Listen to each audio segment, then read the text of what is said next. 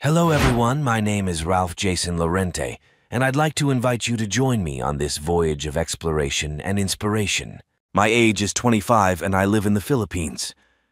I graduated from Cavite State University with a Bachelor of Science in Computer Technology and then learned Japanese to work abroad. After a time, I discovered that freelancers may earn money while being at home. I thought it would be easy, but it is difficult. I'm starting to get the flow, and even though I'm a novice, the best way to learn is to do it.